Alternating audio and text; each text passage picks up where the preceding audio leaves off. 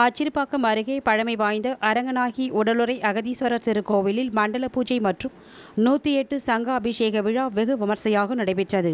செங்கல்பட்டு மாவட்டம் அச்சிறுபாக்கம் அருகே உள்ள ஆனந்தமங்கலம் ஊராட்சியில் அருள்மிகு அரங்கநாயகி உடலுறை அகதீஸ்வரர் திருக்கோவிலில் நாற்பத்தி எட்டாம் நாள் மண்டல பூஜை மற்றும் நூற்றி எட்டு சங்க அபிஷேகம் நடைபெற்றது. இதில் திரளான பக்தர்கள் கலந்து கொண்டு சாமி தரிசனம் செய்தனர். விழாவில் கலந்து கொண்ட பக்தர்களுக்கு அன்னதானம் வழங்கப்பட்டது.